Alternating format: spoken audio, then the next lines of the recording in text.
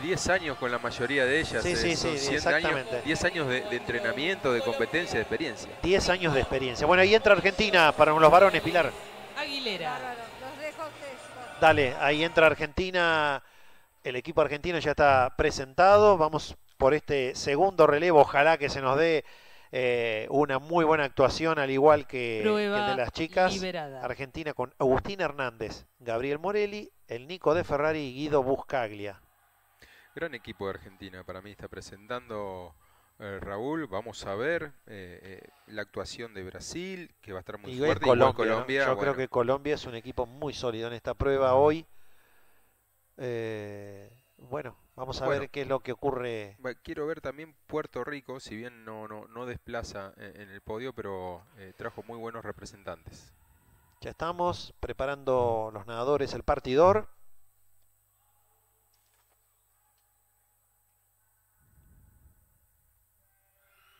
Ya en competencia entonces. Bueno, primeros tramos de carrera. Salida de espalda, Bueno, una buena partida de los carriles centrales.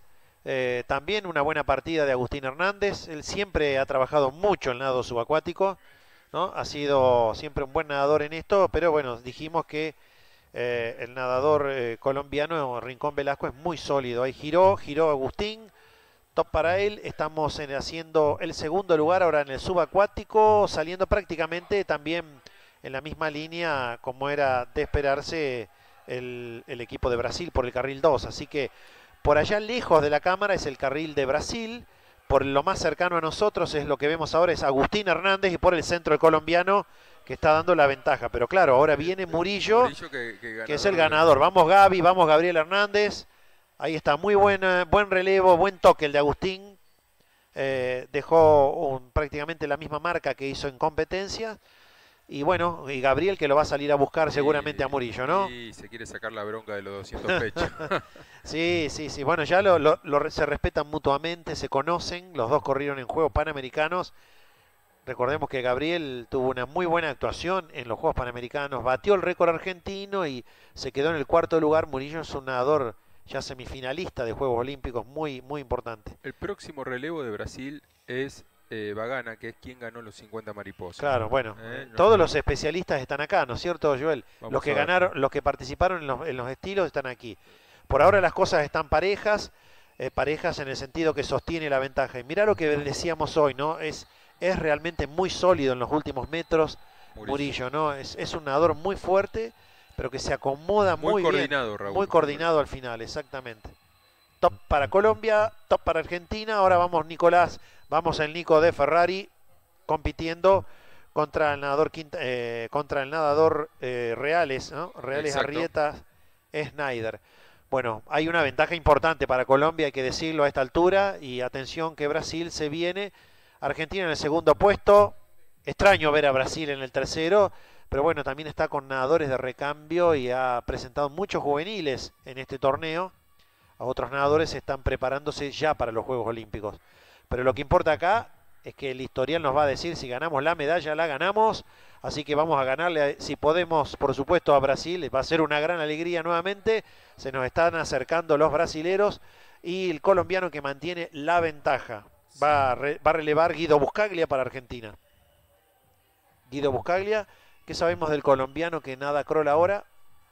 Y Peixoto, que Uf, y 100 libres, Peixoto, ¿no? ganó los 100 Peixoto. libre, va a estar ahí. Yo creo que Guido también es un nadador que corre muy bien los relevos, no, no, no se va a dejar a- alcanzar fácilmente. Lo que sí lo vi largar muy mal a Peixoto, entró con Equipos de relevos dobladas. femeninos de Argentina. Bueno, y estamos ya en el último tramo, últimos 50 metros, así está el giro del colombiano. Top para Colombia, top para Argentina, top para Brasil, ahora mucho más cerca. Eh, Brasil estamos ah, llevando una distancia de un segundo y medio de diferencia. Guido por suerte lo ve y mirá, y salió a buscar al colombiano Guido Buscaglia con esa garra que tiene el marplatense. Está muy cerquita ahora, se le acercó con todo lo que tenía para tirarle y recibe Denle todo el 5 amiento. metros más a Guido, denle 5 metros más. Ah, nos faltaron 5 metros, mirá, y nos quedábamos con la carrera, me parece. Pero bueno, buena actuación de Argentina, buen, buena Guido, marca, ¿eh? Guido creo que habrá tirado 49-6, 49-7, Raúl. El parcial interno de Guido, mira, cerró en 25.77 y el colombiano cerró en 27.1, pero el brasilero cerró más fuerte Sí, 25-5. 25-5, o sea que gran actuación la de Guido, gran actuación la del equipo argentino. Pilar, estuvimos muy cerca, ¿no? Estuvimos. Faltó 5 metros más. Que lo que decía. haber extendido un poquito la pileta. Bueno, vos y Joel pedían 55 metros eh, finales en vez de 50. Ahí quedó un poquito. Mirá la sensación, ¿no? 3.41.12 a 3.41.65 el tiempo eh, de Argentina. Nos quedamos sin el oro, pero una gran actuación también. Bueno, si les parece, vamos a traer a los chicos de Argentina. Dale, dale, dale, dale. Ahí los fuimos a buscar. Bueno, vamos a ver si los tenemos que estén con nosotros. Es el cierre de esta jornada, una buena jornada para Argentina, ¿no? Tres medallas de oro, Tres Raúl, oros. sobre 10 pruebas disputadas donde hay 20 países. O sea, la verdad que el porcentaje es muy alto. Buena actuación, tres medallas de oro y varias de plata y bronce para una cosecha importante. Ahí estamos con vos, Pilar, cuando vos nos indiques. Seguramente los tendrás en el piso, a los ahí frente a vos. Bárbaro. Para escuchar la palabra. Chicos, el cierre de esta gran jornada, como ustedes bien mencionaban. Ahí están viniendo. Bueno, Creo que decid. notó, ¿no? Que eh, había que romper el hielo después de tanta pandemia, sin competencia. Hoy se los ve a todos mucho mejor. Sí, sin duda, sí, sin duda están muchísimo mejor, eh, mucho más sólidos los nadadores. Bueno, ahí le estamos viendo detrás tuyo. Sí, Ya lo vemos al Gaby ellos. Morel y a Guido. Ahí viene Agus. Bueno, felicitaciones. Realmente se vio una muy linda prueba. ¿Cómo la, cómo la sintieron cada uno de ustedes? Eh, bueno, yo en lo particular muy agradecido por correr la posta de nuevo con, con amigos. La verdad que dimos todo. Si bien todos corrimos prueba hoy, estábamos también bastante cansados, pero eh, la posta como que te hace olvidar de todo y dar lo mejor siempre. También lo mismo que el AU, la verdad, muy contento de poder ser integrante de este equipo.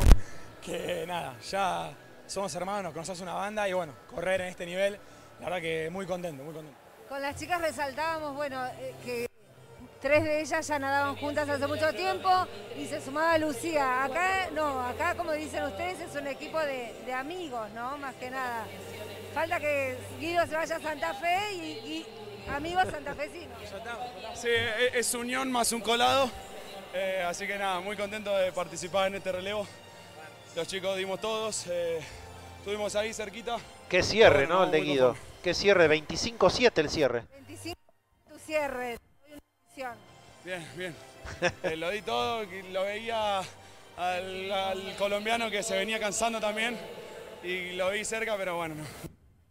Por más, mucho más.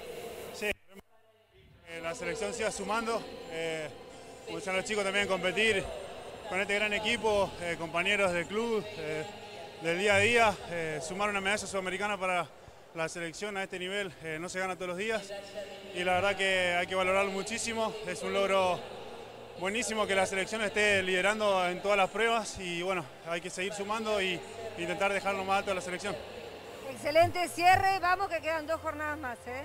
Bueno, buenísimo los chicos argentinos, mientras detrás tú